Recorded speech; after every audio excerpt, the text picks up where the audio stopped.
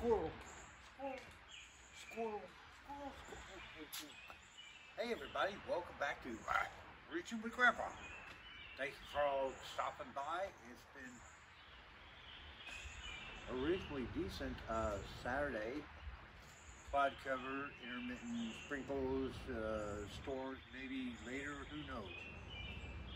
I just try to make sure that I'm okay. And I hope you guys are too. So, yeah, I've been getting my hands dirty and I've only let a couple of drops of blood today, so it hadn't been a full productive day yet. But let's see what I've gotten myself into today. Uh, if y'all enjoy stopping by and visiting with me, please consider sharing, subscribing, liking, commenting. Guys, come on, come on. Uh, most of my audience are older guys like me. I'm 67. And uh, you're from various parts of the country, the world, wherever. Uh, share your thoughts with me uh, about what we're doing here or I'm not giving out marital advice or making car loans or anything like that, but you know, hey, let's chat about remodels, restorations, I do detailing, uh, what I call industrial detailing during the day, uh, 40 plus hours. So, you know, hey, I'm up for, you know, answering questions or talking to you about some of the things that you have concerns about taking care of your daily driver. So, let's just see what the heck I've gotten myself into now. Well, as we panoramic. What's that? Well, I'll tell you what that. was. I don't need to tell you what that is. It's a drive shaft. Yeah, well, you know, we're tearing everything else out from underneath here. Well, we need to do this too.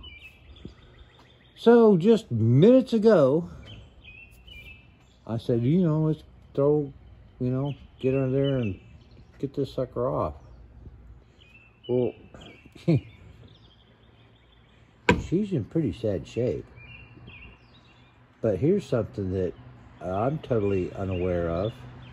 Is this Mopar or bad installation or what? All the U-joints I've ever replaced on anything I've owned in the past, those cups are inside here. They're not sticking out and most of them have like a retainer clip to hold the cups in.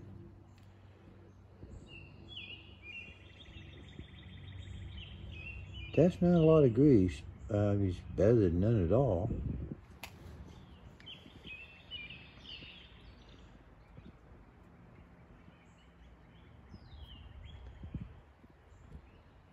if I get it back in here without pulling any of the roller pins.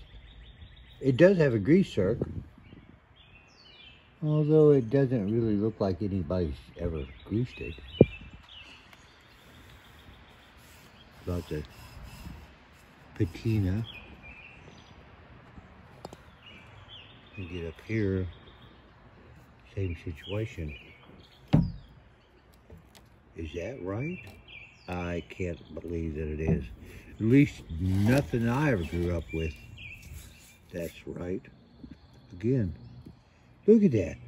A brand new grease zerk, which doesn't appear that it was probably ever used. I would say. Oh man.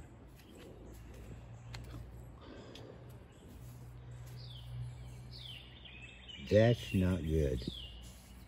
That is going to take some severe restoration. I could do it. It's not impossible. But the one thing that, when I pulled it, I started dumping tranny fluid all over the floor.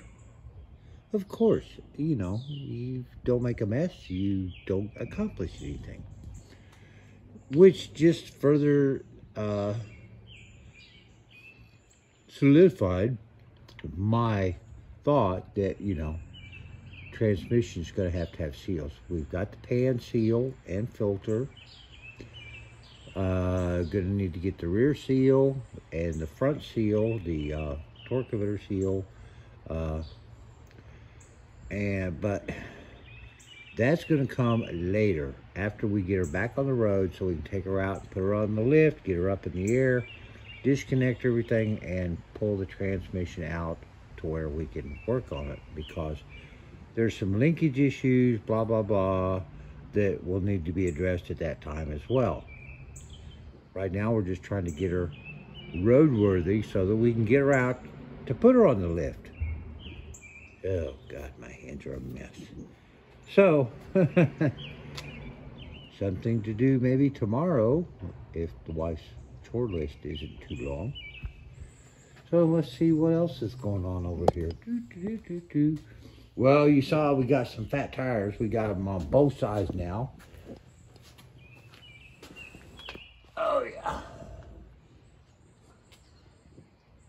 Got the brake drums and all that done on that side, and they're done on that side, and I just hope when we put the juice to it that they all hold together. I'm real sketchy about them, but it is what it is. So I've been putting a little work on trying to get the wheels for the front all pretty like the back ones. And what else have I been doing other than falling over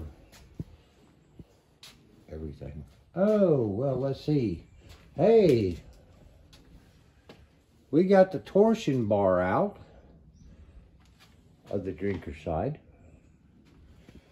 and working on getting it cleaned up. It's, uh, you know, yellow stripe. Now, I have no idea what this means. I, and I don't recall from the other torsion bar it being color-coded. So this one's on the right side, yellow stripe. Uh, if anybody can give me some, you know, info on if this has any significance in the world today, I would appreciate it because I'm just trying, you know, this is a learn as you go project for me. Oh, look what happened today. Got the torsion bar out. We got the lower control arm out. Oh my God. So here it is.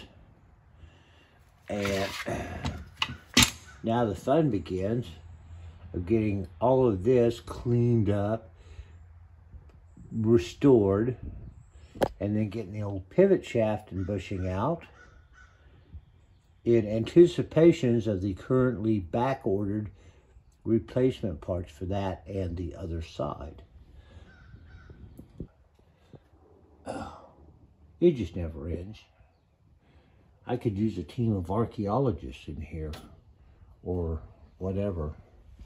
Yeah, we dumped, when we pulled that drive shaft, we did dump some fluid, so I have got a mess underneath here to clean up. Probably need to call one of those, you know, fire flood restoration companies to help out here.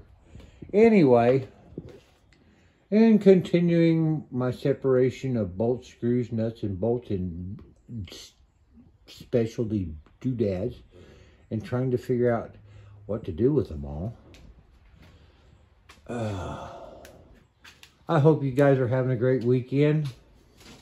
Just wanted to let you know that we're still out here trying to get this old girl back together. We're, you know, we're starting to see some light. Hallelujah. At the end of the tunnel, as it were. And so I'm excited. I really want to see us have this girl back driving. She's not going to be perfect. There's still going to be plenty to do. But, oh, the pitman arm should be here the first of the week. And the glass, weather stripping and seals and all that should be here sometime next week as well. Still waiting for the key component to putting the front end back together, but hopefully that's not going to be too long.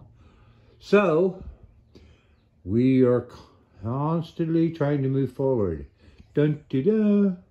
Thanks, guys, for stopping by. I hope you guys have a wonderful day. Come on, guys.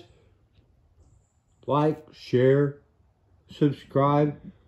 We're a little over 700, and I appreciate all of you guys that are hanging out with me. But surely you got a brother, cousin, a friend, somebody that, you know, will subscribe and not really care. I'm not trying to sell you mar uh, t-shirts or nothing. So, you know, come along for the fun. Pop cold adult beverage.